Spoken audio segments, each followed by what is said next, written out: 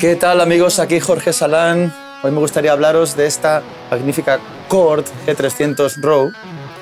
Estáis viendo que es una guitarra súper versátil, tiene un tono espectacular, tiene un cuerpo de caoba africana, tapa de nogal de 6 milímetros, pastillas Seymour Duncan SH2N aquí en puente y una humbucker TB4 en el mástil. Una electrónica totalmente personalizada, un mástil de caoba africana y diapasón de palisandro, puntos laterales luminosos, Lumin Light, una herramienta muy útil para cuando entre canción y canción en un concierto se apagan las luces y no ves nada, pues bueno, esto es una herramienta súper útil para saber dónde están los trastes o empezar la siguiente canción. El mástil está reforzado con grafito y los trastes son de acero inoxidable. Las clavijas son de bloqueo, una herramienta súper útil para cambiar una cuerda en cuestión de segundos y que la afinación te aguante bueno, el resto del concierto. Son clavijas de bloqueo escalonadas Cords. También cuenta con una cejilla negra GrabTech Tusk, podéis ver aquí.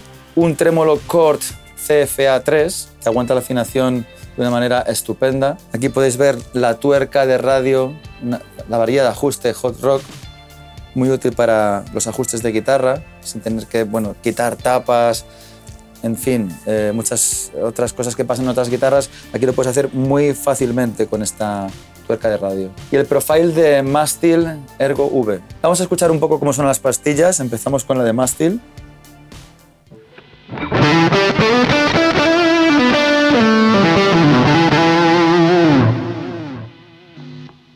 Ponemos estas dos juntas.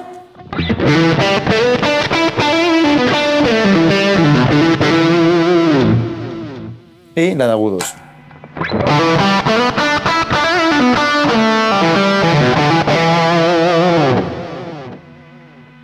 Tenéis el control de tono también, muy útil.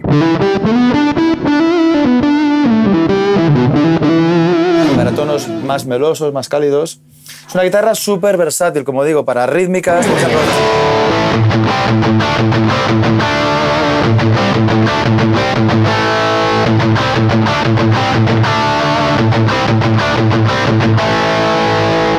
O para solos poderosos.